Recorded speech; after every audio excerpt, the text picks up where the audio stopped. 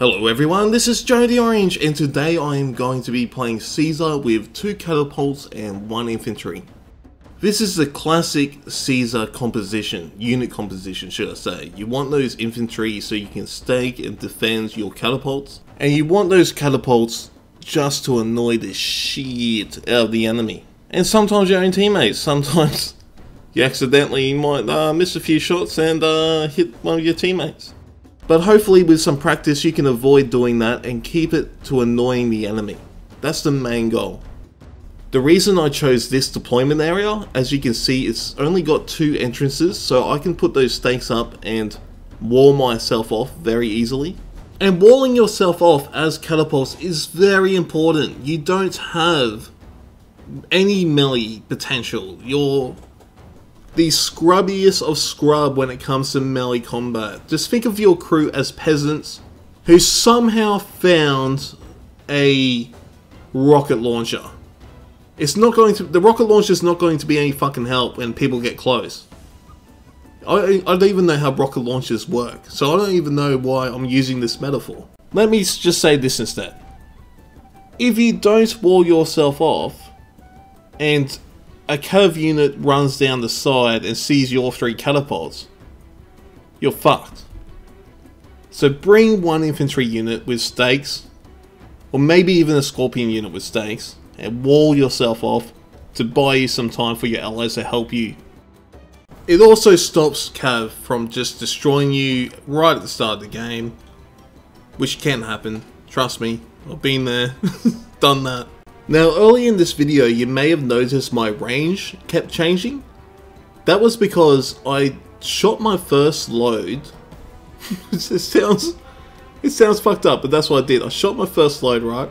And got that out of the way because it was already loaded up. And then I changed to accurate to see the range of that ability. Not only for a later reference to know when I can use it and when I can't, but just to see if I could use that ability at the time. With more experience, I should know that just naturally, but I'm not that experienced with catapults. And the reason I shot the first load before I changed my ammunition was because it was already loaded. And when you do change to a different type of ammunition, it restarts your load time. So you're better off just using those boulders before you change over to one of your consumables. Also, remember to use Vidi a lot more often than I do. I forget that shit all the time. I'm playing Caesar just so I can have the ability, and then I forget to use it. Now I am disassembling at this stage, and I'm going to do a very risky move. I'm going to move up out of my defensive position and go shoot the fuck out of their artillery. This can go two ways.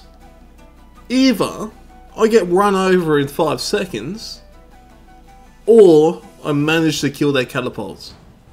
And it's 50-50, really. This is a bad idea sometimes and the best idea other times. Luckily for me, I know the war dogs are on the other side of the map, so the risk is a far distance away I don't think they have, no, they don't have any cav. Well, they have one cav, but I also have one infantry unit. So I'm not scared of that unit. And by moving up here, I can get extra points for my team because I know where their catapults deployed and the chances of them moving up is minimal.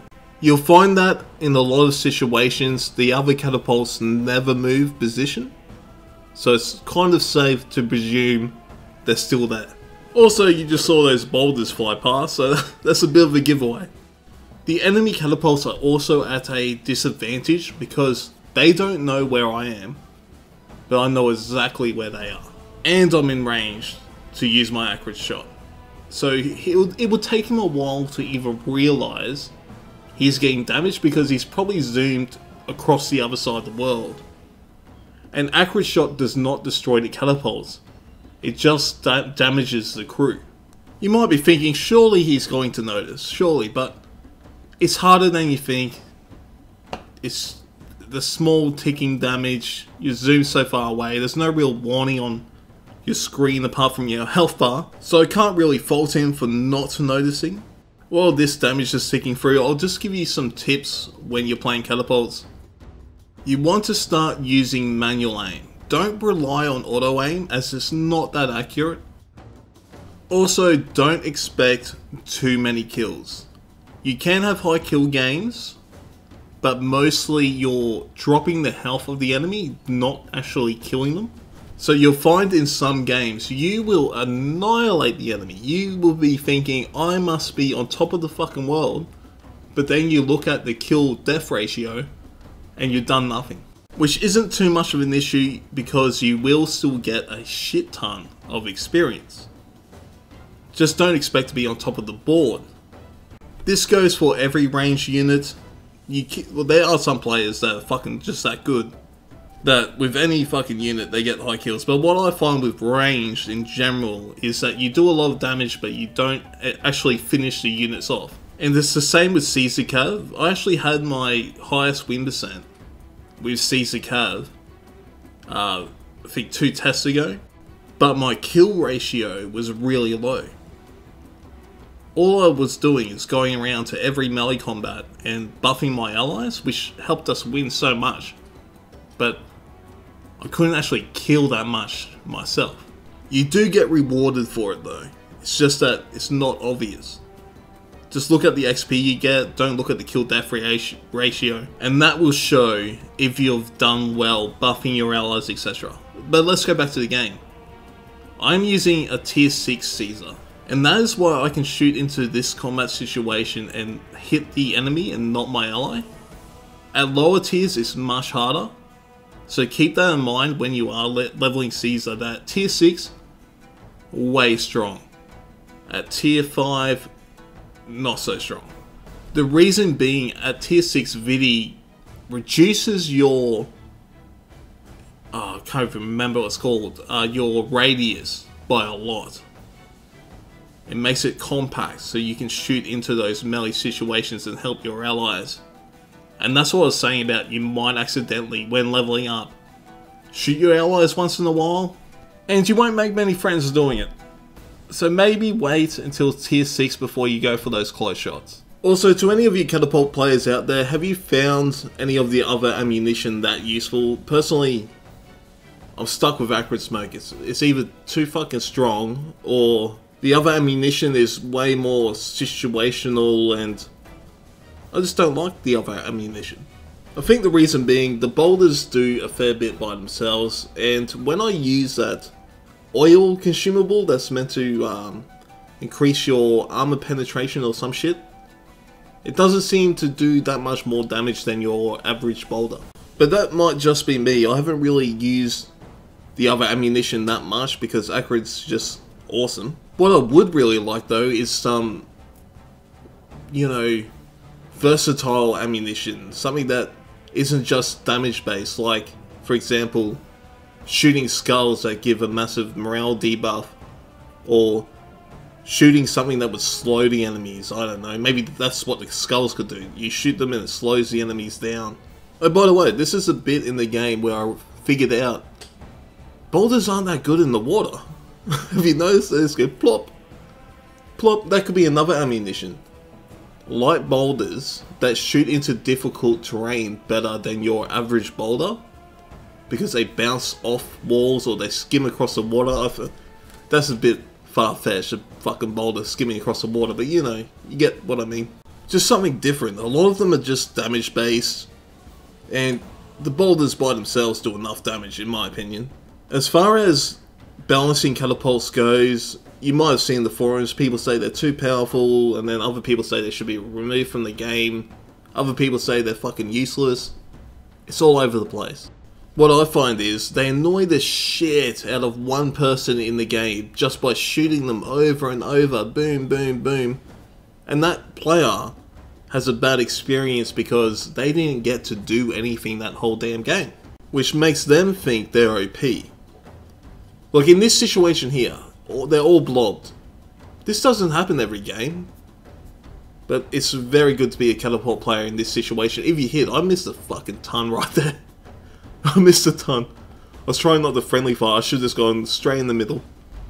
But when it comes to those giant engagements where there's way more enemy than your allies, stick out as being OP because that's their ideal thing is when the enemy are just all there in a big group and you just nuke the fuck out of them.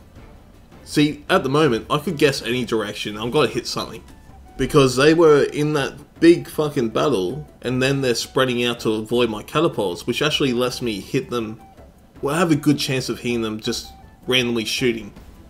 And you may have noticed wherever that dude drew where I should shoot, I purposely didn't shoot there, because I fucking hate when people tell me what to do. I'm making a video telling you what to do.